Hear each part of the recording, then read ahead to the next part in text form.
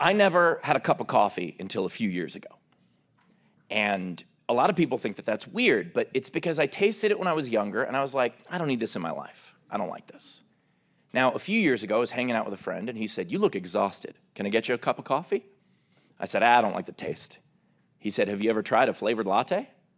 I said, I know what those words just meant. And he got me one. And let me tell you this, Columbus, that's the best fucking thing I've ever had. Holy shit, it's so good. Flavored lattes are so good. They're so good. They're an alarm clock that tastes like a milkshake. How's that possible? I wish I knew about this earlier, but I got super into flavored lattes, so much so that three weeks later, I had a latte machine at home.